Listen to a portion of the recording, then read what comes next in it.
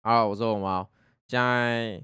距离我们开季还有十六、十七个小时，然后我已经把 G P K 下来好，然后 G P K 下来我就来开个台，然后跟大家讲一下这个骑手的鱼图天赋。然后这是鱼图天赋呢，哎，我很抱歉，我这是没有收集，因为我觉得其实改动没有到很大啦，有很多新的东西加入，但是原则上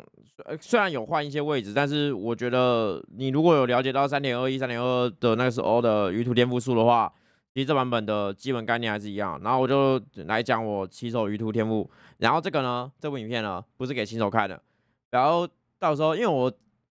我真真真的觉得。不要再讲什么给新手教学新手看了，哇，真的太可怕了！网络乡民真的太可怕了。嗯，你那个评分为什么七点五分不是八分啊？啊，为什么那个八点五分会比另外一个他们两个明明那个刷图就比他快零点一秒，那为什么他的分数比他低啊？不要不要不要！我就跟你讲，这不是新手教学，我这是一样要大概九小时打完红蓝王，然后我练习，呃，之前练的两个结果都是差不多十一小时。十十一小时、十小时打完红蓝王吧，用那个楚行冰锤的话，然后我前面的点法就是点小点战神，然后探险花园秘教多的我可能会改成金水，那新的鱼图天赋我现在暂时没，因为我看了之后，呃，当然有一些大点我一定会点，像是那个探险的大点我一定会点嘛。啊，六门我目前对他，我觉得我觉得那个是很后期的事情了，现在想没什么用，不如等。比较前端玩家，他们开发出六门的一些用法之后，我们再跟着抄就好了。因为现现在我觉得想六门太早了啊。然后我这个开场就是直冲小点战神，然后把所有现在有鱼图的这个升阶的点一点，然后这边跳这个海克斯科技门传过来。呃，还你前面可以海克斯科技门传过来，然后点这样。可是我后面会改成直接这样子点。那我我其实觉得也应该不用。那个撤销时应该也不用吃啦，就直接这样子点过去就好了。因为为什么要这样子点啊不直接海克斯科技门呢？要那么多小点呢？因为我们玩的是小点战神嘛。啊，这个小点战神流浪之路的效果就是你的大点没有任何的效果，但是你的小点会一百趴效果。然后我这边全部点的过路点全部都是四趴的，你的相你的地图里面的怪物掉落相连地图的几率。本来是两趴变成四趴，所以我这样点一大堆的过路点这种结果之后，你看我我就这样一二三走过来啊，可是我都什么都没点，为什么？我只是要那个小点而已，这样我就会有八十四趴的地地图掉落额外几率，然后就在五十四点天赋左右，大概这个是你把白图跟黄图拓完，大概会有五十四点，然后这个这个点法呢，能够很快的帮助你，至少你打。T 十、T 十一以上，你的升阶速度会比不是这样点法，照理来说会快很多。但总归来说，它还是一个有有点运气成分在的东西。但是所有做红蓝王 Speed Run 的点法，在之前三点二一的主流都是这样点。那三点二二虽然地图升级有有换位置，然后有变成说要多花一点天赋点，然后可能要干嘛？可是我觉得原则上它没有。被改太多也没有变弱，就就顶多你硬要讲就是这边过路点变多一点，那其实没什么差别，所以我还是一样会这样点啊。然后呢，这个是我九八十九的。假设你今天已经打完了红蓝王，然后你现在准备要进到一个拓图阶段的话，我预，然后我先讲我预设是没有点探险大点的，因为探险大点不是每个人都可以承受的。但是我基本上觉得你要打探险，就是你的流派要可以打探险大点啊。那打探险大点其实要要点就是你的流派不可以至少超过三条词以上，你打起来很痛苦。像是每秒每四秒恢复生命，这个大家打起来都很痛苦。但是你不能一炸刀就打不了，所以你的伤害 build，你的 build 不可以伤害太低。然后再看一下那个呃，当然那个一定会有一个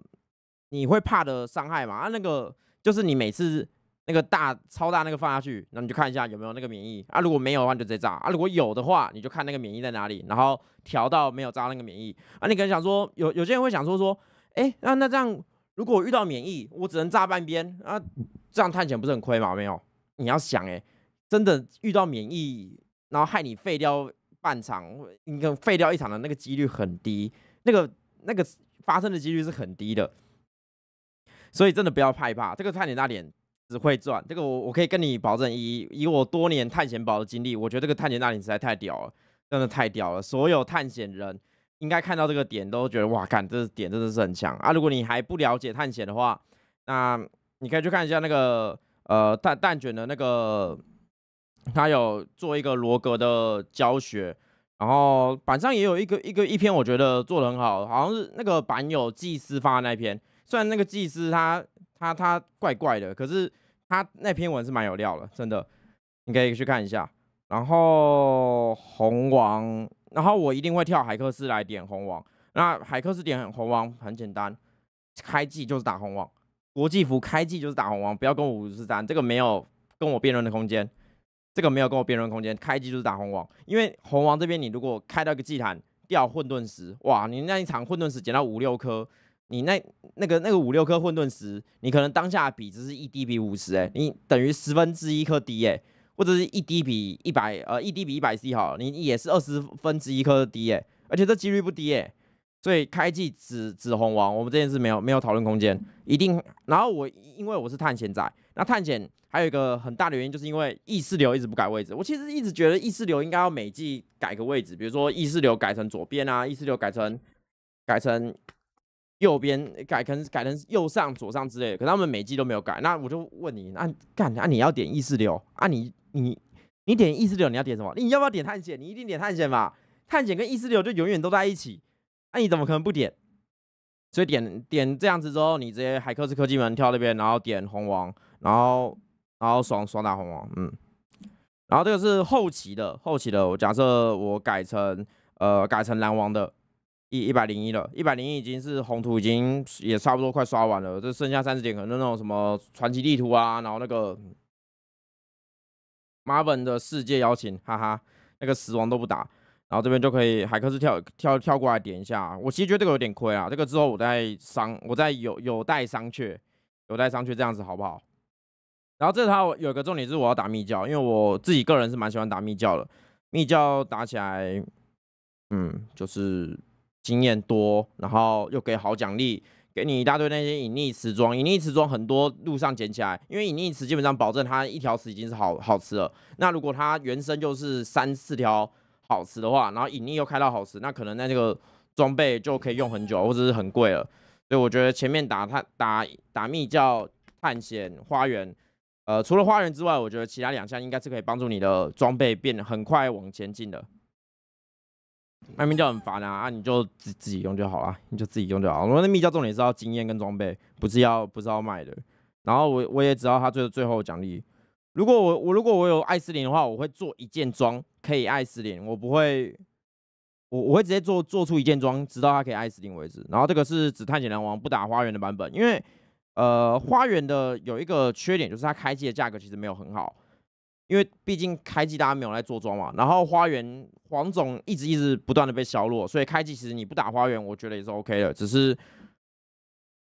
我你多出来点数，我老实讲，你你说你要去点金水吗？你说你要去打野兽，你去打祭司吗？没有，我觉得还是配花园是比较好的。那只是给你看一个只探简单王不打花园的一个情况。那还有一个这季很特殊的点就是。我们知道现在有几位，呃，之前有很多位那个 YouTuber 嘛，很厉害的时光组，那个 Green Mall，然后 Fair Fair Fair Grace，他们前几季开季一定都是打战乱，绝对都是打战乱。但是呢，这季打战乱有得到一个很大的削弱，就是五军的经验获取变低了。那你会想说战乱价格会不会有会不会受影响？我不我认为不会，我认为战乱还是跟以以往完全一样。因为战乱的价格虽然变低，但是不代表五军需求量会降低啊，会要打五军人还是会照照样打，然后要产军团珠宝也是要也是会照样产，然后更何况战乱一直以来它额外的一个收益，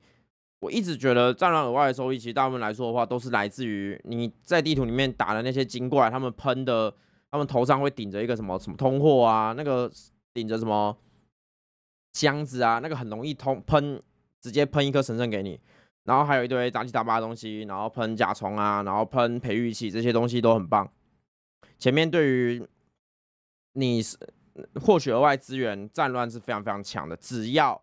你打得过。问题就是你可能打不过，那大部分人问题都是战乱打不过，所以这也是为什么战乱会变成大部分人那些比较前端的玩家的一个首要选择，因为大部分都是前端玩家打得过战乱而已，可以把战乱轻松的全开。呃呃，我不是说就是。你只要可以全开就好。我说的是轻松全开，就是我走过去左右射两下，然后就全部开了，这样才叫做可以打战乱。你不是那种要点那个什么禁止，那个战乱禁止，然后然后还要那边努力，一直一直找的，哎，到底在哪里？到底在哪里？尤其是近战，近战你就不要想打战乱了啦，近战真的不要想战乱了，战乱跟你无关。然后什么召唤啊，什么那些打战乱也是痛苦的要死。这其实骷髅法师打起来也算算算轻松的，可是其实打起来很很烦，因为要一直找那个剩下几只在哪里。好，然后这就是我这季的玉兔天赋的开场，推荐给你啊！我自己再跟你强调一次，再跟你强调一次，我不负任何责任。你不要，你那个什么新，这不是新手教学，我这次要九老师打完红蓝网，你觉得自己的。就是稍微有点速度，稍微自己有一点练习过的，你再来跟这一套，不然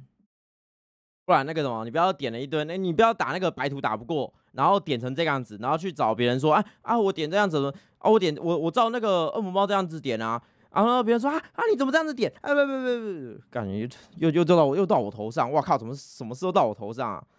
有什么问题或者是鱼图天赋推荐都可以到下面留言。我是魔猫，我们下次再见，拜拜。